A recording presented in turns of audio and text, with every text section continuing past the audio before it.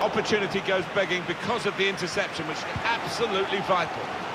There's been a goal at the Ramon Sanchez Pizjuan Stadium. Alan McInally is there. It's a goal for Sevilla.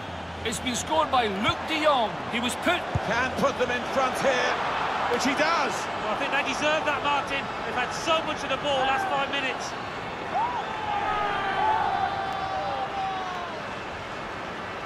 A goal from Suarez, and there was a gap to the keeper's left, and he found that with real power.